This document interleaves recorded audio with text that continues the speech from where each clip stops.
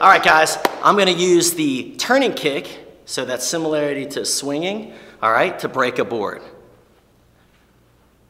Then Mick has to break a board, so here we go. Yeah!